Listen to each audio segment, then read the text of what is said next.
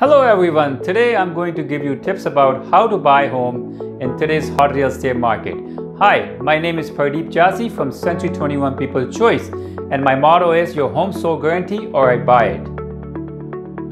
As you know, it's a seller's market these days and almost every home is being sold way above listing price. And most of the time, buyers feel frustrated and sad when they do not get the home of their dream during multiple offer situation. Here are the few good tips for the buyers before they send their offer in a multiple offer situation. And my first tip is you make sure you have your pre-approval for your mortgage either through your mortgage broker or through your lender. This way you will be worry-free and confident during the offer presentation in case you have to remove your mortgage condition. And the second tip is make sure you have done the early inspection of the property before the offer date. Usually seller holds the offer date for 3 to 7 days.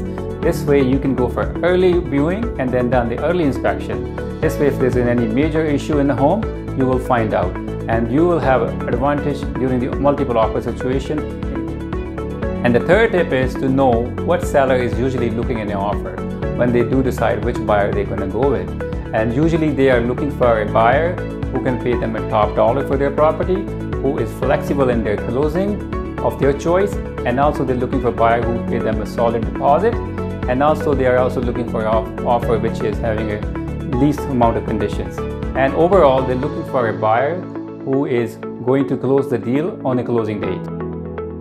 And my fourth tip is before you prepare the offer make sure you sit down with your realtor and discuss with him what is the strategy he is going to use during the multiple offer situation. And also with his advice come to the decision what is the maximum price you would pay for this property during the multiple offer situation.